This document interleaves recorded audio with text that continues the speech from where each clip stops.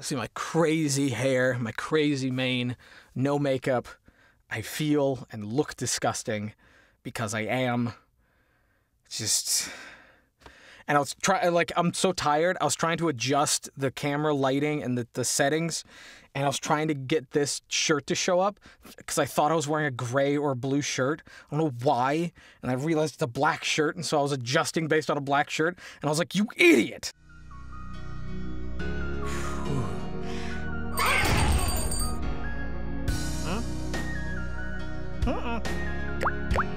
Alrighty, hey guys! It has been a while since you've seen me and since I've actually been in here to record a video. Um, my week, my past couple months have been crazy. I think I've said that before. If anyone's following like my Instagram or uh, Facebook or anything like that, or my, my Twitter, you guys would know that my life has been kind of up and down, kind of crazy lately. A lot of things have happened, and no, I'm not about to just gripe about stuff in my life for a video. That's not what I. That's not what I'm gonna do. But I'm gonna talk about. It's relevant to what I'm gonna talk about. I promise you. Uh, so I'm just gonna go down the list real quick. Uh, got into a wreck. Uh, car's fine. It still runs, but one side of it is just kind of like nasty and gnarled. Had to take some, take a piece of metal off, just you know, a fender off, just so I can open the passenger side door. So we're still deciding whether or not we're going to replace the car or just fix it, and that's a lot of money. Uh, yes, I had insurance, but still, it's you know, I don't know if it's going to cover it. And then uh, been fin- uh, finished a, a, big long spree of uh, huge projects. You know, I mean, there was basically every single night after I was up till like four to seven o'clock in the morning. I would, as I'm going to, as I'm leaving the studio and as I'm going to bed, I would get flooded with more emails and more messages asking me to do more work. And uh, just insane. And then uh, visited some family and some friends, and I got to I got to do that again this week. Fortunately, I don't got to take my roommate to work uh, this upcoming week because he's um, he's off the whole time. I I've been uh, trying to exercise. That's another thing that's been going on. And so I've been trying to work out at least, be on the treadmill for at least an hour. Normally I'm doing like an hour and a half. And uh, since December, I've actually lost, I think, like 20 pounds. So I'm feeling a little bit better. Uh, but the problem is, is like a little bit of stretch before the workout and then shower after. That's about two, two and a half hours uh, depending on how long I work out, out of my day. And I mean, two hours is already spent, you know, driving my roommate up to his job and then, you know, driving back and then driving up there to get him and drive back. So, you know, that's four and a half hours already taken right there. And then if you've been following my Instagram, I'm trying to get some art going because I'm planning on getting into web comics and the reason for that is is because there's a lot of projects that I've written so many things. I've written so many parodies and original IP and so many uh, dramas, comedies, this and that. And there's a lot of those projects that um, cannot be funded for animation or cannot be funded for live action. And so the easiest course for some of them is to become webcomics. And at first, going into this, there was an understanding that there was going to be someone to help me pull this off, and then that person basically stopped being available. And so now, uh, you know, i have already been writing a good chunk chunk of that, and trying to do a lot of the art, and that's not really my thing. But still trying to see if I can make this happen. Probably the first thing I release is going to be like a burner project, so I don't know how successful it's going to be. Uh, like I said, doing writing. Uh, there was, uh, I mean, there, has been a big boom on the Let's Play channel, uh, almost making about as many subscribers in the past couple months as we did the entire previous year. So, hoping that that might actually be a successful investment. And so, I've been trying to, and th- that's a video every single day. That's a video that we have to upload with a thumbnail and everything every single day. I've had more clients um, ask me to do uh, reviews, and one of them I actually did uh, shot the review and tried editing it, but there was an issue with the footage, so I have to do that all over again. There's another product that I have to review. Uh, I got some uh, acting auditions from my agent. I've gotten so many emails for auditions and for work, more than just on Fiverr. I, you know, uh, am trying to find time to get back with uh, someone for coaching. There, uh, there are some some big projects and some small projects for this channel that I'm trying to edit, and one of them I'm hoping that I get you know some time to shoot, and then uh, it's it's just been crazy. Uh, random people have had health problems, random family members have had issues, and I've been stretching myself too thin. Now six minutes ish in to this video. Now we're going to cover the topic. Uh, I've been stretching myself too thin. And it's something that I that I can't really change. I can't not not at this point. It's something that I can't really let go. Is being kind of a jack of all trades, kind of a, you know everywhere. Uh, as a voice actor, I'm a utility guy, which means that you know they someone they just need a role or they they need a voice to fit a random character that may or may not come back. A lot of background, but you know, not just extra work, more filler. You have the main cast, and then you have, you know, uh, like if you watch Family Guy, there's always those like four or five voice actors that do all the regular human beings on on the show. That's kind of more or less my kind of role in a lot of the stuff that I do. And then there's also like large projects or large shows that not too large, but you know, as as in like long running uh, shows that I do, you know, a whole bunch of characters for. Even if they're main characters, I do a whole bunch of characters. So as far as voiceover, I'm already stretching myself really thin by being someone who is marketing himself as someone who can fill a lot of roles. Which is working out for me because it is something that I can do and it is something that I you know, am well known for. It is something that a lot of people appreciate. It is a lot of something that a lot of people pay me good money to do. However, uh, again, it's stretching me out. It's wearing me out because if I'm working with a lot of different clients and I do some of them, I do like ten characters per show, and I do that for multiple clients. I'm I'm working my voice going up and down, doing kid characters, doing you know big burly characters, doing you know crazy high pitched characters, old ladies, old men, you know younger younger guys. I'm you know a lot of different accents, and I'm working this out. I'm getting tired. And sometimes it is hard for me to keep track in my head what voice I've done for someone else. And every single project, I always, you know, every every time I have the script, I always have to go into my files and I always have to go back and listen to you know the character what he what he sounded like when I first started doing it to try to get you know back into the swing of things, which I recommend that you should do anyway. But you know, even if it's a character that I've done a lot for them, because I do so many characters for so many different people, I just have to be sure. I, I can never guarantee myself that I, that I was like, I, this is a character for them, right? I have done this character for them, right? I'm not thinking of someone else. So that happens a lot. Um, you know, shows like Cartoon Hooligans, where I do a lot of voices um, because that's that's what I'm known for. Now, the good news is, is that I have let a lot of things go and kind of fall to the wayside. Things like stand-up comedy. I don't really do stand-up comedy anymore, which is kind of a bummer because I enjoyed doing stand-up comedy. I enjoyed doing stand-up comedy the modern political spectrum on all sides, on all whatever, there's not a topic that you can talk about that isn't basically ruined or won't be offensive. Uh, the one of the, the last few shows that I did, which basically cemented in my mind that I should quit this.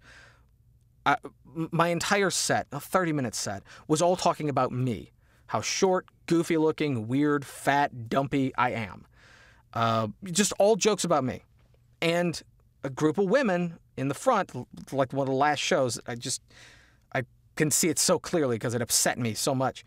Got offended that I was making fun of myself, and it got to a point where it was like, well, if I can't make a fun of me, and I'm the only one who would get offended by that, that I, I can't do this anymore. So I had to give up comedy, and fortunately, that did free up a lot of time and a lot of stress and a lot of headaches. Um, and I don't market myself for doing commercial work. I get very little commercial work, uh, commercial narration, audiobook, that kind of stuff. I get very little of that. And I've pretty much stopped even making those demos. Uh, if anyone asks for my commercial narration demo, I just send them my old one. Uh, you know, whatever. Uh, people do come to me, they still hire me, they still pay me to do that kind of work, but I don't market for it. There are other uh, ideas and projects and people that I worked with that I've kind of, I, I haven't really cut ties with them completely, but I'm not actively pursuing continuing working with them. Um, there's just a lot of stuff like that that you know, I have been able to move to the side. However, when it comes to things like art, hand drawn art, digital art, stuff that I don't, I'm not really all that good at, but it's something that I can't get rid of because, or can't let, you know, just be ignored because it's something that I need regularly.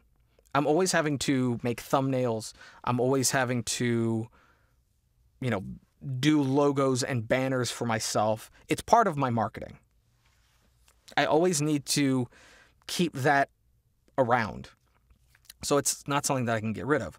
Also, in order for me to pursue some of these lines of character and animation voiceover, I basically I, I need to create things that are going to catch people's attention and that's going to not just require the voice, but it's also going to require the visuals. And so I'm having to create some of my own content that's original that I can use as showcase for voiceover. And that's one of the big projects that I'm trying to work on, but it's it's not something that I really feel confident in, and it's something that's really stressing me out. Uh, also, recently, only only yesterday did I, I, say that because it's 2:44 in the morning. Um, yesterday was the first day in like four days where I actually got like over eight hours of sleep. I've been insane. I've been losing my mind. Um, what else? Uh, who cares? The, who cares about the other things? The point is, is that I've been stretching myself really, really thin, and it's something that I've already started. I started doing in, in my career: acting, voice acting, stand-up comedy, art, digital editing, video video editing um, or image editing, you know, for like photos, and then you know, video editing, doing things like. Uh, I guess the impressions would be something else that's in a different avenue because I was trying to do videos just on impressions. The YouTube channel, YouTube channels, multiple. Uh, uh, what else? Uh, singing is singing is garbage. Who cares about that one? That's nothing anymore. And just a lot of different things. Oh, writing, writing was also another one. Oh, and uh, uh, on-set sound, being an on-set sound guy. Those were also things that I was trying to get into.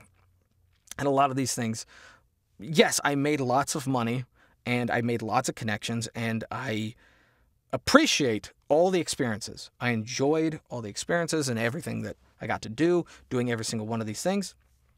But being a jack of all trades will absolutely hamper you. It will absolutely tear you down. You can be a jack of a lot of trades, but don't be a jack of all trades when it comes to entertainment and when it comes to performing and acting and stuff like that. You really need to hone in on the few handful of things that you do really, really well, that your career and your life will benefit from. Don't do like what I did and try to take on everything because I wasted a lot of time and a lot of energy and a, a lot of money trying to pursue different avenues that ended up not really being all that fun or all that fruitful. And I probably could have made a lot more headway should I have focused solely on character animation, and video game voiceover. If I just literally ignored all the rest of the stuff. Now, you're going to need a variety of skills. You are going to need a variety of skills writing, acting, editing, not just the performing arts. Because you're going to need those things for creating your own demos, creating your website, creating your promotional material, communicating effectively with clients, fixing and writing copy sometimes. So you're going to need a variety of things, but don't market yourself for all of the things like I did because you're going to end up stressed out and you're going to end up tired and there's going to be a lot of things that are just going to uh, lose quality because of your exhaustion and because of how few hours you have in the day. And that's something that I started to notice very recently, and it was starting to stress me out. Still kind of does. I have been able to get some momentum back, you know, keep the ball rolling a little bit.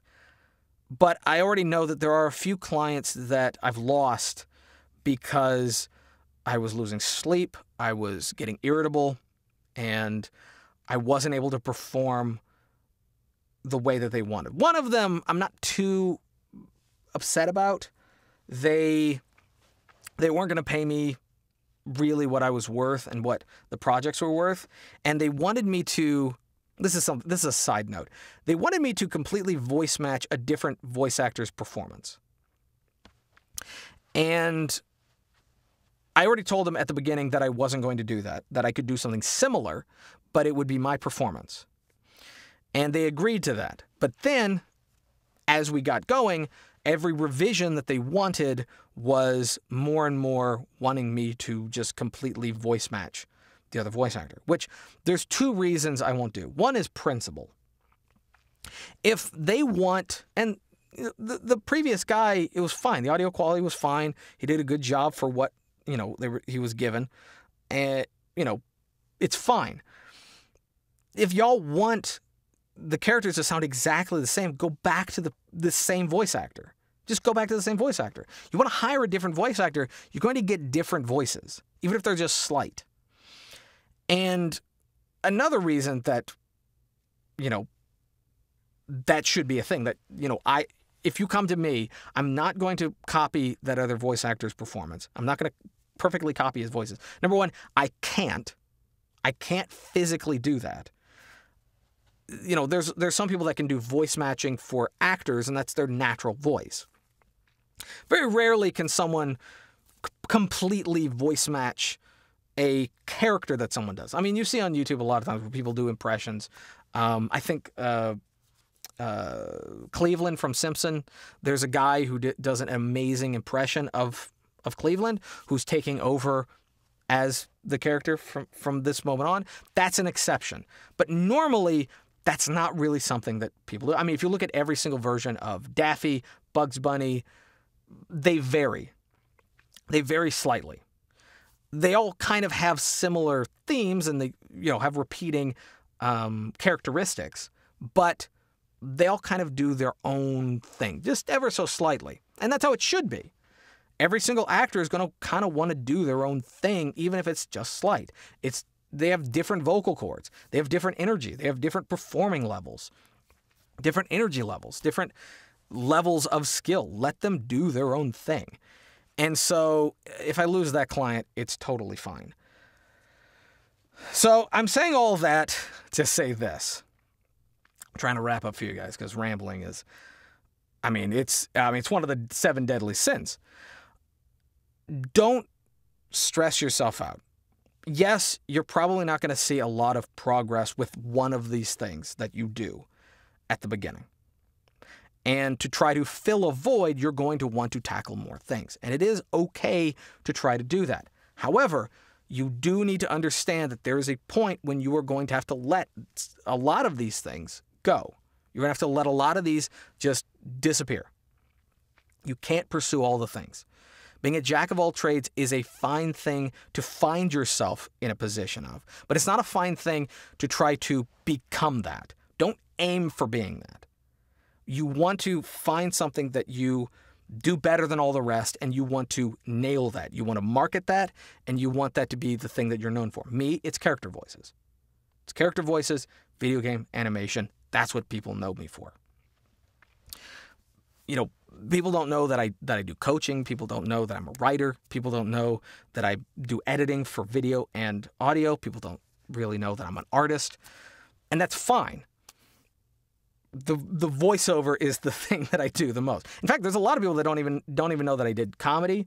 Uh, there's a lot of people that don't even know that I'm an actor. Which I mean, every single voice actor should and is an actor on some level. At least the good ones are. Um, there's a lot of people that are like just getting into voiceover, that just got the equipment. They're probably not actors yet. Not quite. Give them a little while to probably get there. But there's a lot of things that people don't know about, and that's fine. The problem is, recently, I tried to tackle basically all those things, and it almost killed me. it, almost just blew me in half just because it was so much to try to tackle at one time. And so that's why videos were kind of late. I still didn't even do a thumbnail for the the website video. I still didn't even do a thumbnail for that one just because after I uploaded, after I put in the information, I went right to sleep. I don't even remember hitting hitting upload or whatever, but apparently I did. Um, but yeah, so I'm back. Hopefully, I can get some some videos and some content up that you guys will enjoy. I'm gonna try to do more uh, bad voiceover review and also bad voiceover fixing. I think that was pretty good. Uh, doing a video on how to dub from home that's something that I'm doing. That's going to be one of the next projects. And hopefully I can make some headway on these larger projects that I've been trying to get done for a couple years. So uh, that's it. Um, thank you guys for watching. If you liked the video, give it a thumbs up. If you didn't, give it a thumbs down. Totally fine. Subscribe if you're new, bell for notifications, and leave down in the comment section below. Like to see me cover any other topic, ask any questions, go for it. And I have my email in the description if you want to contact me personally just because you know you don't want to leave anything that's too personal down in the comment section. Totally fine. And until next time, peace.